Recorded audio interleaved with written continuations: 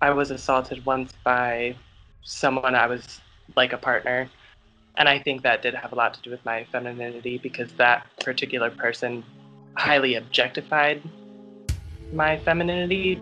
But I think it was when I was like seven when I first sort of actively decided okay, I'm going to try to speak deeper. I'm going to try to like move less. You know, I didn't feel love.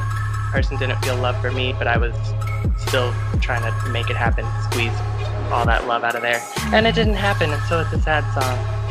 I learned more about gender and identity, and it was like finding the missing piece to a puzzle. Gender for me is two very big long lists of requirements, and I keep ticking these boxes on both sides, and people want me to pick a side, and I can't do it, you know, and so I don't have to.